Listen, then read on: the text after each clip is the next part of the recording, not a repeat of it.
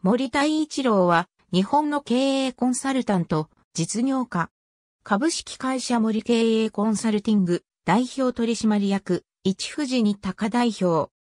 株式会社森経営コンサルティング代表取締役。実家が会社を経営していることから、将来は中小企業を救う仕事がしたいと、経営コンサルタントを志す。東京大学大学院経済学研究科経営、専攻修了。大学院在学中に経営戦略論を研究し、協調を出版。また、経営コンサルティングファームにて2年間のインターンを経て、経営コンサルティングファームに就職。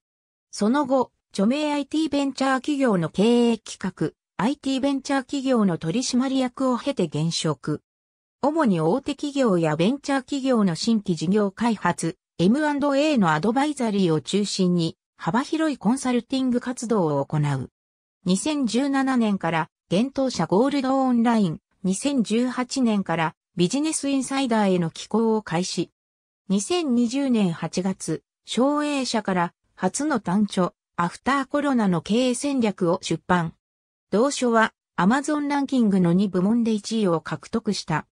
2021年2月、省営社からアフターコロナのマーケティングを出版予定。森太一郎の記事一覧。www.businessiner.jp 2020年12月21日閲覧。ABC 著者紹介。2020年12月21日閲覧。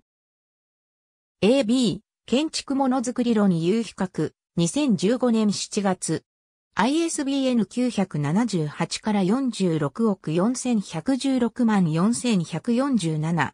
AB、アフターコロナの経営戦略省営者、2020年8月4日。ISBN 978から47億9816万7695。8月5日、発売。アフターコロナの経営戦略アマゾン2巻獲得記念。2020年12月21日閲覧。AB、アフターコロナのマーケティング省営者。2021年2月8日2020。ISBN 978から47億9816万9606。五輪発の延期、課題も、会場や、費用どうする？もう限界観光業界。